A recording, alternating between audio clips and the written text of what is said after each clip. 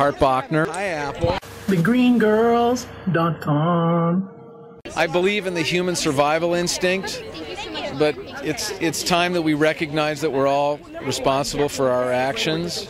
And I think with the new administration coming in and hopefully rolling back the environmental policies of the last eight years will be a great stride in the right direction. And also, you know, it's time for this country to take the lead technologically into a carbon-free future. Well, I've always been green, and I had, you know, I was one of the few people who drove the electric car, the uh, the EV1 years back, and when they killed that car, I went after the chairman of General Motors, Bob Lutz.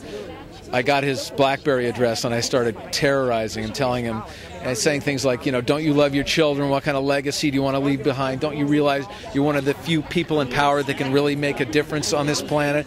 Your co- company lost 39 billion last year. When are you going to stop making SUVs? And then a year and a half ago, he admitted that killing the electric car was a mistake. I reconnected with him, and then this year I found out that they had uh, these hydrogen prototypes on the road. So I told him I wanted one, and it showed up at my door, and I've been driving it for the last few months, and it's phenomenal. It runs on hydrogen, it's water vapor.